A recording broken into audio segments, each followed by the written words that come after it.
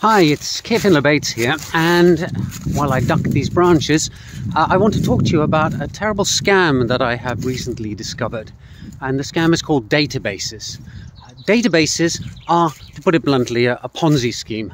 If you look at database vendors, they are selling different customers the same database. It doesn't cost them anything to make a second or a third or a fourth copy of a database, and yet they charge customers through the nose in order to install and operate them. So uh, do be careful with databases.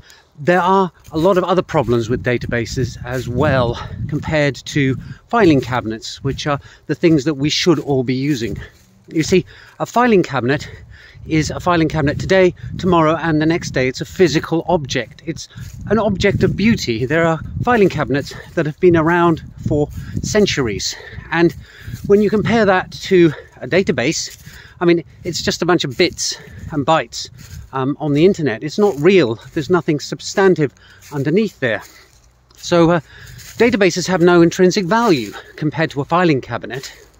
Another thing is that I found out that databases are used by criminals. There are criminal organizations out there that have databases on their computers that they use, for example, to keep track of credit card numbers that they've stolen or of people that they've defrauded so that they can sell those lists on to other criminals in order to exploit the unwary.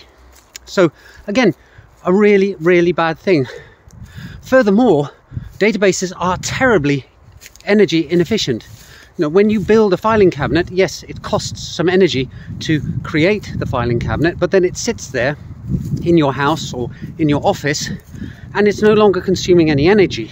But a database is like a filing cabinet that just burns electricity day after day after day.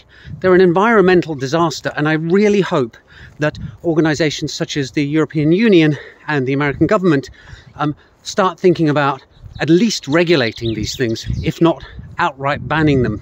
Because, quite frankly, it's an environmental disaster in the making.